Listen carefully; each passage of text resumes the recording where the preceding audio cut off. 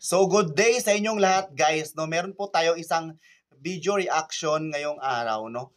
Dahil si si Vice Ganda tinawag na tikbalang ni Christy Fermin, no. Dahil sa pangbubuli niya at sa pangbabara niya doon sa mga taong um, hindi good looking or hindi kagwapuhan na sumasali sa showtime, no. So bakit nga ba niya tinawag na tikbalang at itong si Vice Ganda ay sumusobra na nga naman sa mga sinasabi niya sa mga salita niya.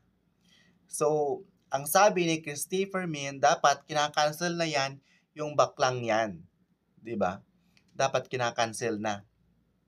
Kasi hindi siya magandang ehemplo sa mga kabataan ngayon, sa mga manonood, sa mga viewers, kasi ang dami po talagang nanonood na mga viewers.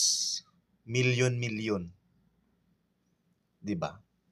Kahit sabihin lang natin na biro-biro lang yung mga ganon, syempre, lingid sa kaalaman ng lahat, masakit pa rin yung mga sinasabi niya.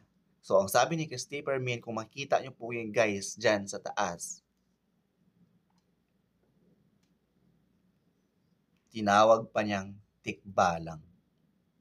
Kasi nga, kapag wapo yung sumasali doon sa show, ay siya pa yung unang ahalik. Pero pag pangit, binubuli, at binabara. 'Di ba?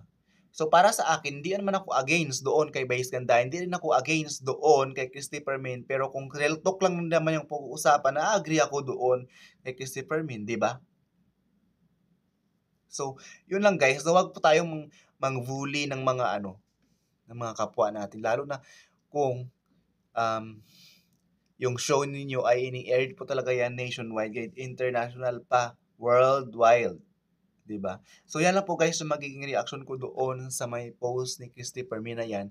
And thank you so much for watching guys. No, wag kalimutang i-share, mag-like, comment at mag-follow na rin kayo guys sa akin. Thank you so much for watching. God bless all. Bye!